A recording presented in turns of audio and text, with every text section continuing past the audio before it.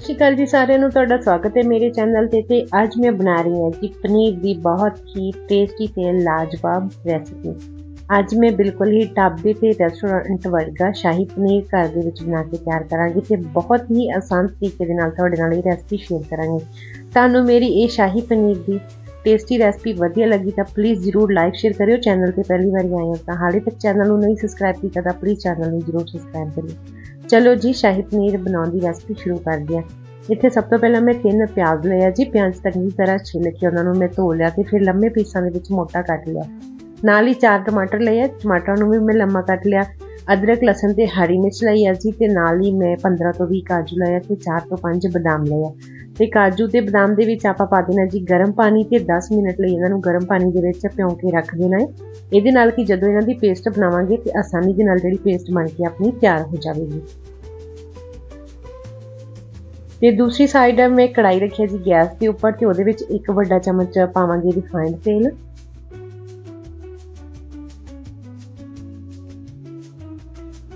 ਜਿਵੇਂ ਹੀ ਆਪਣਾ ਤੇਲ ਗਰਮ ਹੋ ਗਿਆ ਜੀ, ਫਿਰ ਇਹਦੇ ਵਿੱਚ ਪਾਵਾਂਗੇ ਥੋੜਾ ਜਿਹਾ ਜੀਰਾ। ਦੋ ਤੇਜ਼ ਪੱਤੇ। ਇਹ ਖੜੇ ਮਸਾਲੇ ਆਪਾਂ ਜ਼ਰੂਰ ਲੈਣੇ ਆ ਜੀ। ਖੜੇ ਮਸਾਲਿਆਂ ਦੇ ਬਿਨਾ ਜਿਹੜਾ ਸ਼ਾਹੀ ਪਨੀਰ ਅਧੂਰਾ ਇਹ ਬਹੁਤ ਹੀ ਟੇਸਟੀ ਬਣ ਕੇ ਤਿਆਰ ਹੁੰਦਾ। ਨਾਲ ਹੀ ਦਾਲਚੀਨੀ 1 ਇੰਚ ਤੇ ਇੱਕ ਵੱਡੀ ਇਲਾਇਚੀ, ਦੋ ਛੋਟੀਆਂ ਇਲਾਇਚੀਆਂ, ਦੋ ਲੌਂਗ 6 ਤੋਂ 7 ਕਾਲੀਆਂ ਮਿਰਚਾਂ ਤੇ ਨਾਲ ਲਈ ਹੈ ਜੀ ਕਸ਼ਮੀਰੀ ਲਾਲ ਮਿਰਚ। ਇਹ ਜ਼ਰੂਰ ਲੈਣੀ ਹੈ ਸਾਬੁਤ।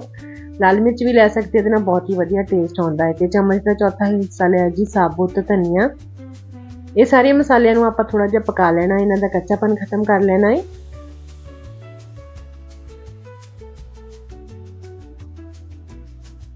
ਤੇ ਫਿਰ ਆਪਾਂ ਪਾਉਣੇ ਆ ਜੀ ਪਿਆਜ਼। ਪਿਆਜ਼ ਪਾ ਕੇ ਪਿਆਜ਼ਾਂ ਨੂੰ ਮਿਕਸ ਕਰਦੇ ਹੋਏ ਆਪਾਂ ਹਲਕਾ ਜਿਹਾ ਫਰਾਈ ਕਰਨਾ ਹੈ ਹਲਕਾ ਜਿਹਾ ਜ਼ਿਆਦਾ ਨਹੀਂ।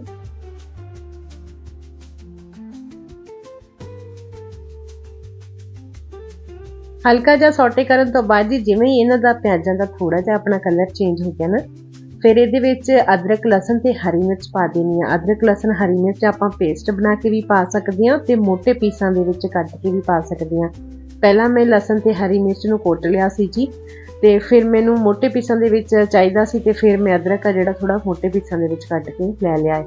ਫਿਰ ਇਹਨੂੰ ਵੀ ਆਪਾਂ ਪਾ ਕੇ ਚੰਗੀ ਤਰ੍ਹਾਂ ਮਿਕਸ ਕਰਦੇ ਹੋਏ ਹਲਕਾ ਜਿਹਾ ਸੌਟੇ ਕਰਨਾ ਹੈ ਯਾਨੀ ਕਿ ਹਲਕਾ ਜਿਹਾ ਫਰਾਈ ਕਰ ਲੈਣਾ ਹੈ। ਜਿਵੇਂ ਹੀ ਹਲਕਾ ਜਿਹਾ ਆਪਾਂ ਇਹਨੂੰ ਮਿਕਸ ਕਰ ਲਿਆ ਜੀ ਤੇ ਫਰਾਈ ਕਰ ਲਿਆ, ਫਿਰ ਆਪਾਂ ਇਹਦੇ ਵਿੱਚ ਪਾ ਦਿੰਦੇ ਹਾਂ ਟਮਾਟਰ। ਟਮਾਟਰ ਪਾ ਕੇ ਆਪਾਂ ਚੰਗੀ ਤਰ੍ਹਾਂ ਤੜਕੇ ਦੇ ਨਾਲ ਹੀ ਮਿਕਸ ਕਰ ਲੈਣੇ ਆ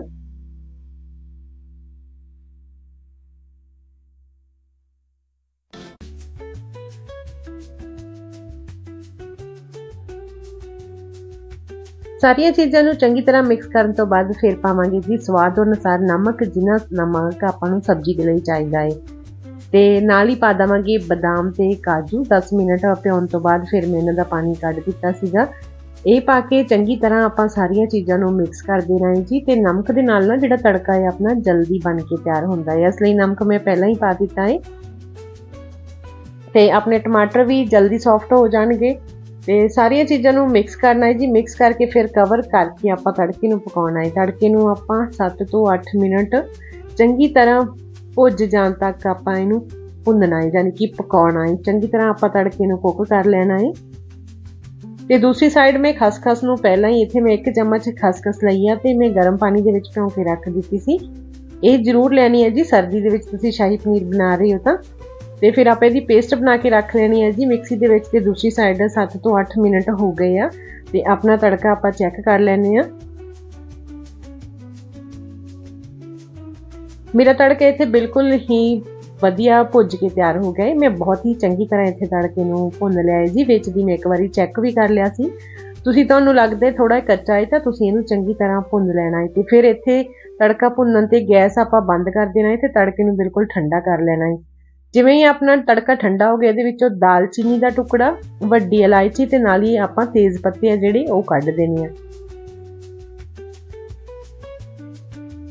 ਤੜਕਾ ਬਿਲਕੁਲ ਠੰਡਾ ਹੋਣ ਤੇ ਫਿਰ ਆਪਾਂ ਲੈਣਾ ਜੀ ਮਿਕਸੀ ਦਾ ਇੱਕ ਜਾਰ ਯਾਨੀ ਕਿ ਮਿਕਸੀ ਦਾ ਜੱਗ ਲੈ ਕੇ ਮੇਥਾ ਵੱਡਾ ਸਾਈਜ਼ ਵਾਲਾ ਜੱਗ ਲਿਆਏ ਤੇ ਉਹਦੇ ਵਿੱਚ ਆਪਾਂ ਸਾਰਾ ਤੜਕਾ ਪਾ ਦੇਣਾ ਹੈ ਤੇ ਤੜਕਾ ਬਿਲਕੁਲ ਆਪਾਂ ਠੰਡਾ ਹੋਣ ਤੇ ਹੀ ਪਾਉਣਾ, ਇਹ ਚੀਜ਼ ਦਾ ਖਾਸ ਖਿਆਲ ਰੱਖਣਾ ਹੈ।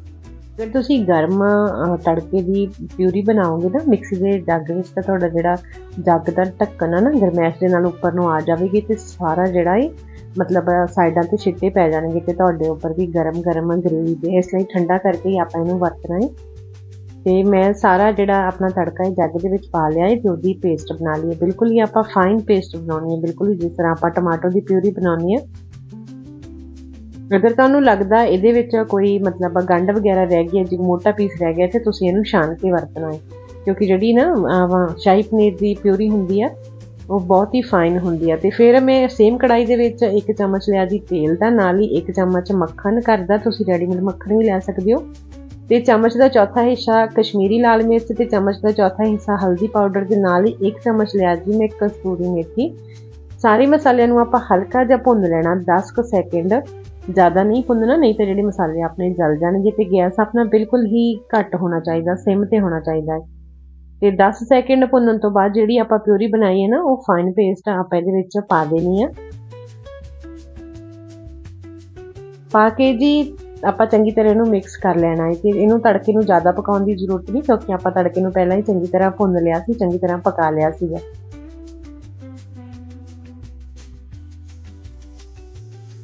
ਪਿਊਰੀ ਨੂੰ ਆਪਾਂ ਤੜਕੇ ਦੀ ਪਿਊਰੀ ਨੂੰ ਚੰਗੀ ਤਰ੍ਹਾਂ ਮਸਾਲਿਆਂ ਦੇ ਵਿੱਚ ਮਿਕਸ ਕਰ ਲਿਆ ਜੀ ਤੇ ਫਿਰ ਆਪਾਂ ਜੋ ਆਪਾਂ ਖਸਖਸ ਦੀ ਪੇਸਟ ਬਣਾ ਕੇ ਰੱਖੀ ਹੈ ਨਾ, ਉਹ ਪਾ ਦੇਣੀ ਆ। ਉਹ ਪਾ ਕੇ ਚੰਗੀ ਤਰ੍ਹਾਂ ਉਹਨੂੰ ਮਿਕਸ ਕਰ ਲੈਣਾ ਹੈ ਤੇ ਉਹਨੂੰ ਆਪਾਂ 3 ਤੋਂ ਮਿੰਟ ਪਕਾ ਲੈਣਾ 3 ਤੋਂ 4 minute. Low to medium flame ਤੇ ਸਰਦੀ ਦੇ ਵਿੱਚ ਇਹ ਖਸਖਸ ਨਾ, ਜਿਹੜੀ ਬਹੁਤ ਹੀ ਹੈਲਥੀ ਹੁੰਦੀ ਹੈ ਖਾਸ ਕਰ ਬੱਚਿਆਂ ਦੇ ਲਈ ਵੀ, ਤੇ ਤੁਸੀਂ ਬੱਚਿਆਂ ਨੂੰ ਇਸ ਤਰ੍ਹਾਂ ਇਹਨੂੰ ਪੇਸਟ ਬਣਾ ਕੇ ਵੀ ਵਰਤੋਂ ਕਰ ਸਕਦੇ ਹੋ। ਇਹ ਸਰਦੀ ਤੋਂ ਵੀ ਬਚਾਉਂਦੀ ਹੈ ਤੇ ਕਾਫੀ ਤਾਕਤ ਵਾਲੀ ਵੀ ਹੁੰਦੀ ਆ। ਤੇ ਫਿਰ ਆਪਾਂ ਕਵਰ ਕਰਕੇ ਇਹਨੂੰ ਪਿਊਰੀ ਨੂੰ ਨਾ ਚੰਗੀ ਤਰ੍ਹਾਂ ਤੜਕੇ ਨੂੰ ਜਾਨੀ ਕਿ ਇਹ ਗ੍ਰੇਵੀ ਨੂੰ ਆਪਾਂ ਪਕਾ ਲੈਣਾ ਹੈ। ਤੇ ਇੱਥੇ ਮੈਂ 3 ਤੋਂ 4 ਮਿੰਟ ਚੰਗੀ ਤਰ੍ਹਾਂ ਗ੍ਰੇਵੀ ਨੂੰ ਪਕਾ ਲਿਆ ਹੈ ਜੀ। ਜੋ ਆਪਾਂ ਖਸਖਸ ਦੀ, ਇਹਦੇ ਵਿੱਚ ਪਿਊਰੀ ਪਾਈ ਸੀ ਜੀ ਖਸਖਸ ਦੀ ਪੇਸਟ ਪਾਈ ਸੀ, ਉਹ ਵੀ ਆਪਣੀ ਚੰਗੀ ਤਰ੍ਹਾਂ ਪੱਕ ਚੁੱਕੀ ਆ। ਤੇ ਆਪਣੀ ਗ੍ਰੇਵੀ ਬਿਲਕੁਲ ਬਣ ਕੇ ਤਿਆਰ ਆ ਜੀ। ਤੇ ਹੁਣ ਆਪਾਂ ਇਹਦੇ ਵਿੱਚ ਪਾਵਾਂਗੇ ਫਰੈਸ਼ ਕਰੀਮ ਇਹ ਮੈਂ ਘਰ ਦੀ ਫਰੈਸ਼ ਮਲਾਈ ਲਈ ਹੈ ਤੁਸੀਂ ਫਰੈਸ਼ ਕਰੀਮ ਵੀ ਲੈ ਸਕਦੇ ਹੋ।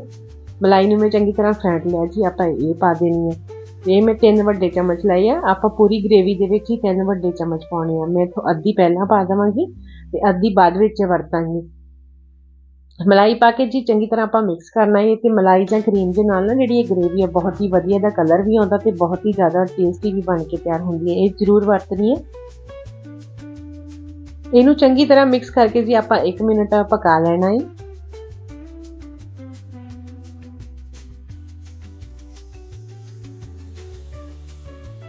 ਤੇ ਫਿਰ ਇੱਥੇ ਮੈਂ ਲਿਆ ਜੀ 300 ਗ੍ਰਾਮ ਪਨੀਰ। 300 ਗ੍ਰਾਮ ਪਨੀਰ ਨੂੰ ਮੈਂ ਇਸ ਤਰ੍ਹਾਂ ਦੇ ਪੀਸਾਂ ਦੇ ਵਿੱਚ ਕੱਟ ਲਿਆ ਹੈ। ਤੁਸੀਂ ਆਪਣੇ ਹਿਸਾਬ ਦੇ ਨਾਲ ਕਿਸੇ ਤਰ੍ਹਾਂ ਦੇ ਪੀਸਾਂ ਦੇ ਵਿੱਚ ਕੱਟ ਸਕਦੇ ਹੋ। ਤੇ ਪਨੀਰ ਨੂੰ ਫਿਰ ਆਪਾਂ ਇਸ ਤਰ੍ਹਾਂ ਡੈਕੋਰੇਟ ਕਰਦੇ ਹੋਏ, ਇਸ ਤਰ੍ਹਾਂ ਦੇਖਣ ਨੂੰ ਵਧੀਆ ਲੱਗਦੀ ਹੈ ਤੇ ਆਪਾਂ ਇਹਨੂੰ ਪਾ ਦੇਣਾ ਹੈ ਗ੍ਰੇਵੀ ਦੇ ਵਿੱਚ, ਜੋ ਆਪਾਂ ਕੀ ਬਹੁਤ ਹੀ ਟੇਸਟੀ ਗ੍ਰੇਵੀ ਬਣਾ ਕੇ ਤਿਆਰ ਕੀਤੀ ਹੈ।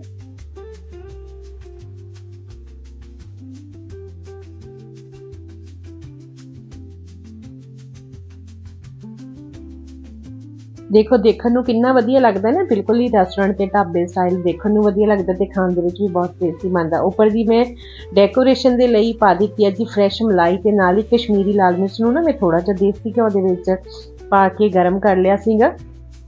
ਯਾਨੀ ਕਿ ਤੜਕਾ ਜਿਹਾ ਬਣਾ ਲਿਆ ਸੀ ਤੇ ਉੱਪਰ ਦੀ ਉਹ ਪਾ ਦਿੱਤੀ ਤੇ ਨਾਲ ਹੀ ਉੱਪਰ ਦੀ ਹਰਾ ਧਨੀਆ ਤੇ ਆਪਣਾ ਪਰਫੈਕਟ ਸ਼ਾਹੀ ਪਨੀਰ ਇੱਥੇ ਬਣ ਕੇ ਤਿਆਰ ਆ।